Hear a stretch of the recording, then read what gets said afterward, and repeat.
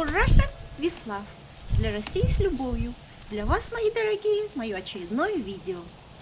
Ну, две недели назад, когда мы с вами распрощались вот здесь, на этом крыльце, я вам показывала очумелые ручки в Америке, показывала мое деяние, так сказать. Э, было тепло, было жарко, я была в летнем платье, в легком платье или в шортах, в чем-то в таком, но очень легком. А сегодня утром было где-то 2 или 3 градуса тепла. Ну и, кстати, еще утро. И все равно холодно. И весь день будет где-то градусов только 6 или 7. Холодина. Ну, по названию вы поняли, что что-то предстоит мне э, рассказать вам необычное. Ну так вот, вы спрашиваете, как же выборы проходят? Выборы проходят в напряженной, в горячей обстановке. Дебаты завершились, я надеюсь, победой э, Трампа. Э, я очень за него болела на дебатах, смотрела все, как говорится, от корки до корки. И, эм, ну, э, у нас такая традиция. Около домов выставляют какие-то транспаранты, которые э, говорят о том, за кого, кто демократы или республиканцы в этом доме, так сказать, живут, за кого мы болеем, за демократов или за республиканцев, кто мы. И у нас здесь также, вот посмотрите, здесь, например, понятно, что живут демократы, за Байдена голосуют. Ну, и мы с Беном решили тоже эм, заиметь такую надпись про республиканцев.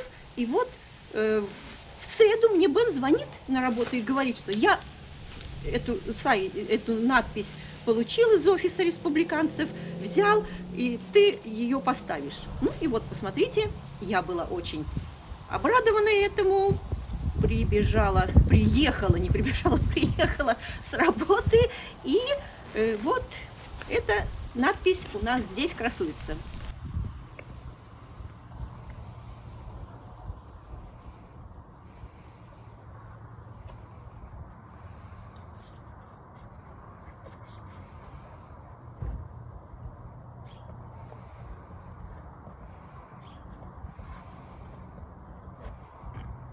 Okay?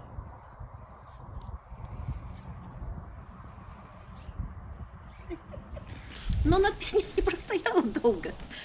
Партизаны-демократы ночью, или подпольщики они кто, я не знаю.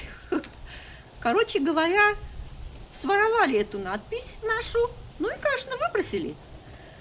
Бен мне звонит э, в субботу, я работала сверхурочно. Кстати, объясню, что это у нас, значит, сверхурочно.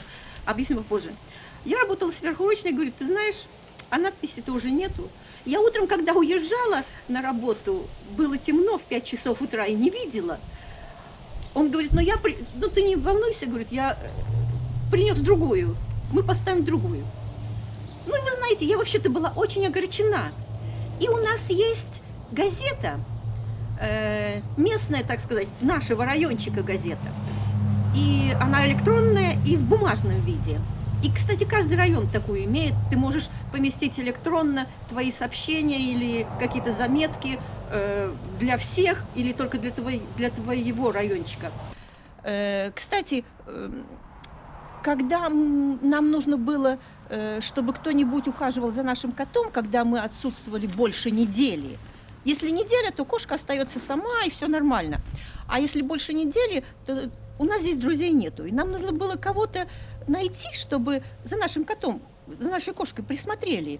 Ну, пришли через 3-4 дня и поменяли воду и еду и все такое. Ну и вот мы поместили э, просьбу нашу в нашей газете. Эта газета, кстати, электронная и на бумаге. И многие откликнулись, и мы выбрали одну семью, которая любит кошек, и они приходили уже несколько раз, и, конечно, мы платим за это. Э, ну вот, в общем, вот так вот мы нашли людей, которые ухаживают за нашей кошкой, пока мы в отсутствии. Ну и вот я поместила вчера вечером заметку, что как же так? И это называется демократия? Ну, в общем, в русском стиле я была очень рассержена, очень разгневана, так сказать. Вчера вечером. Вы знаете, я получила столько сообщений, столько откликов, просто замечательных откликов. Я, кстати, не написала, какая это была, какой был транспарант, за республиканцев или за демократов. Я просто написала в общем, что ну, нельзя так делать, если мы хотим демократии, э, если мы хотим жить нормально. И я сказала, что я разочарована в нашем соседстве, в наших соседях. Значит, есть такие.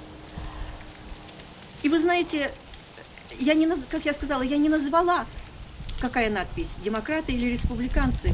Но несколько человек сказали, да, мы тоже наблюдали такое. Демократов надпись стоит. Республиканцев Трамп, где написано Трамп, испохабленные надписи, изломанные, списанные. То есть, ну, понятно, кто это делает. И сегодня, и, и один мужчина написал, ну, просто профессиональное, э, о, профессиональный отзыв он написал, ну как же, если мы хотим быть свободной страной, как же можно такое делать ночью?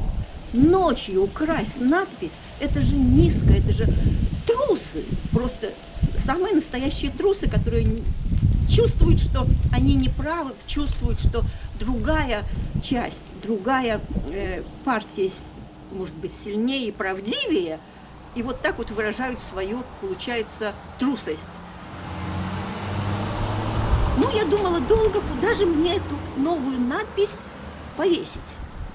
Ну, я предложила Бену вот туда, на, э, на то окно, где спальня. Ну, Бен сказал, если по-русски это перевести, значит, звучит так, что упадешь и костей не соберешь. Ну, и сошлись мы на том, что повешу-ка я ее вот туда на окно, э, вот на это большое окно. Ну, давайте посмотрим, что получится.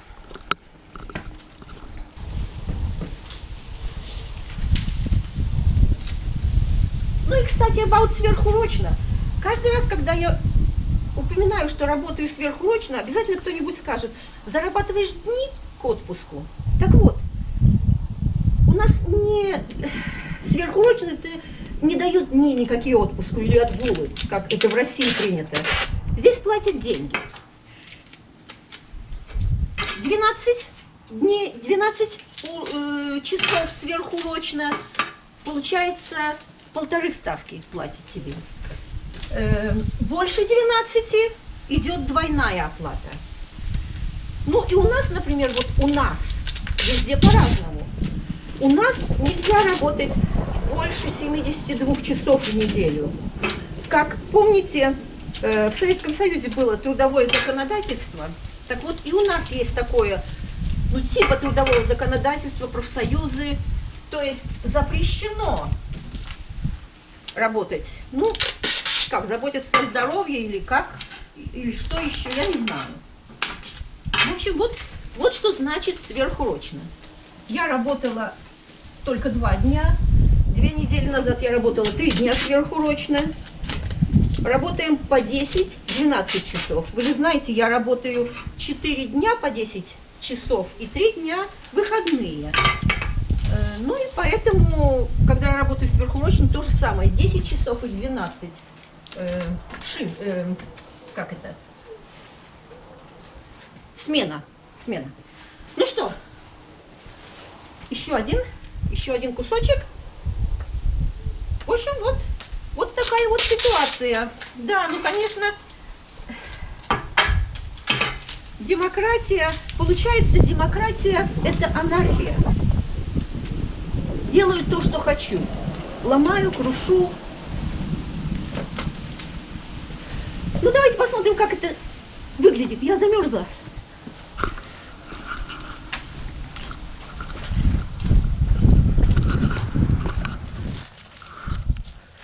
что, все нормально смотрится.